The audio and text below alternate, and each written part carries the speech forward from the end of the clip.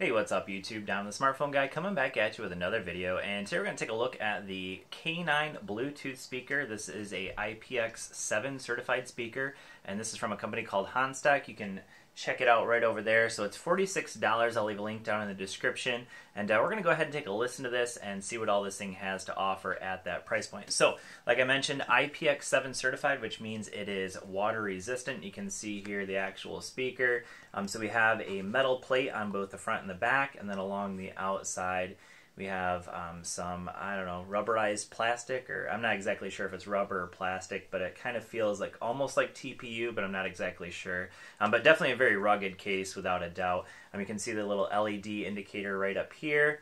Um, but yeah, so this is a 10 watt speaker, so a decent amount of output, 10 watts. Um, will definitely uh, kick out a decent amount of sound. Um, you can see here we have a micro USB that's for charging it. This has a 5,200 milliamp hour battery, um, which 5,200 milliamp hours. Um, they claim 12 hours, and that's about what I've been getting. I haven't exactly measured it, you know, precisely, um, but that does seem about right. Um, so it does technically have a uh, the ability to answer phone calls, and uh, these just act as track forward and track backward. And then the menu button will um, switch you between uh, the auxiliary input, which you can see there is a 3.5 millimeter input, and then also uh, with the Bluetooth. So I'll go ahead and hit that real quick. Little Longer, my friend. okay, so basically all it does is allows you to um, switch between auxiliary and the Bluetooth. So right now it is on Bluetooth. I'm going to go ahead and play some music. It is currently at its loudest volume. I have it connected to my OnePlus 5 at the moment.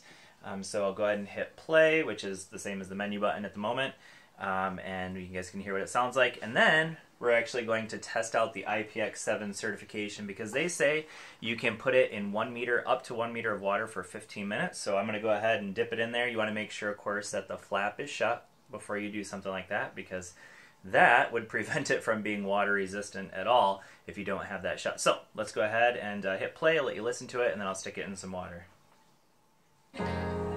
So worth it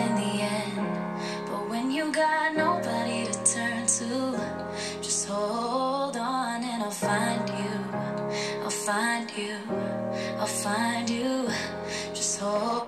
Okay. Light shine bright everywhere we go.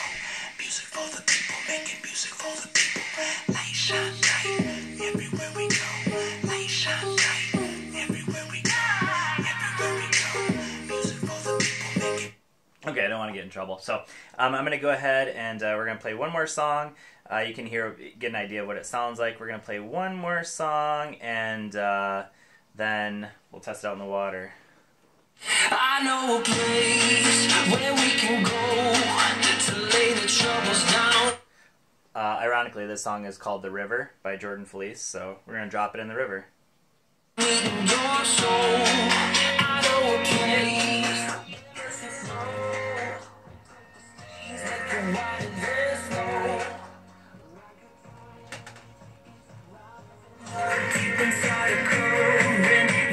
Wet.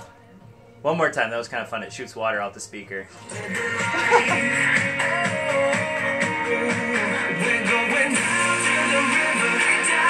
okay, so definitely waterproof as you can see. Um, had no problem, and it's kind of fun because it actually shoots the water out at you after you pull it out of the water. So, anyways, a quick look at the Honstek um, K9 speaker. Uh, again, you can pick it up on Amazon for $46. Leave a link down in the description if you're interested in checking it out. Thanks for watching, and I will see you all in the next video. Peace.